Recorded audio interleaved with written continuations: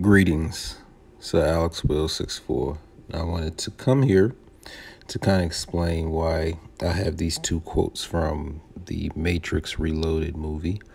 Uh, definitely is talking about choice.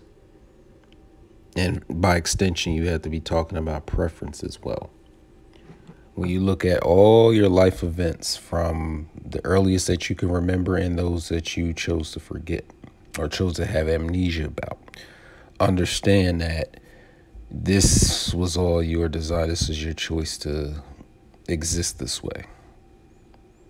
This is where you are experiencing spiritual maturity when you choose to take responsibility, the ultimate responsibility for everything that has happened, will happen, and has happened. It's happening now. You take full responsibility for all these events like the architect says in this movie. Everybody was presented with a choice.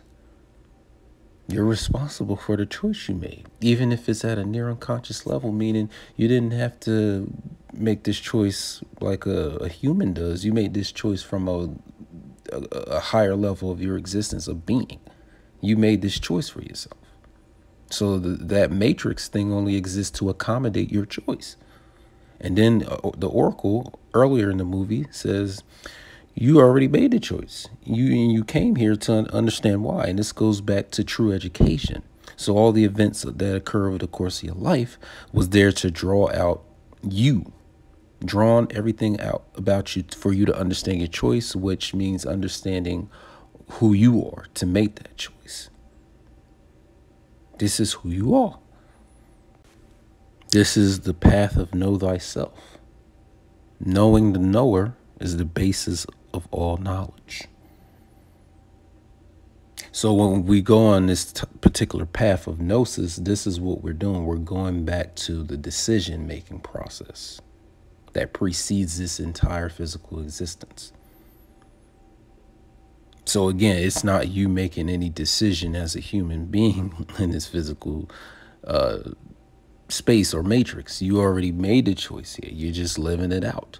And for those who are on the path of know thyself and gnosis, we retrace those steps to see why we made this decision. We go through, we recognize the educational process taking place with the physical events that occur over the course of our lives. I take full and ultimate responsibility for everything that has happened to me, is happening to me, and will happen to me. It's all my choice. I have realized that I am the power, the source, and the cause of my life's design.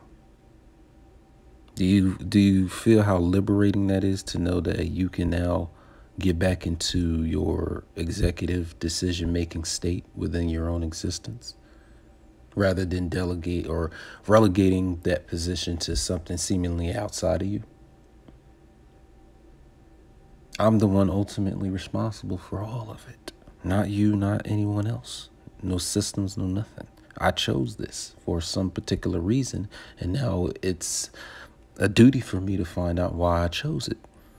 It's a liberating feeling. Is this is the freedom this is the whole real process of waking up and living your freedom and being conscious and woke and all this different other things.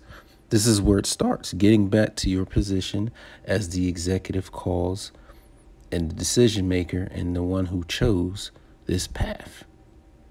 Know this. Gnosis. Think about where you are right now, physically, mentally, emotionally, spiritually. How, how did you get there? And why are you there? And what purpose does it serve of you being right where you are right now in life? This is the gnosis. This is knowing thyself. I get freedom by getting back to my decision making state. I hope the message helps.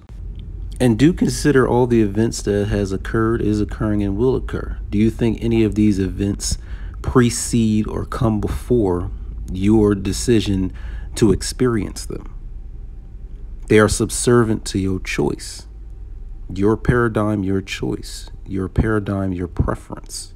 You chose this. Get back into that mind state of your decision making.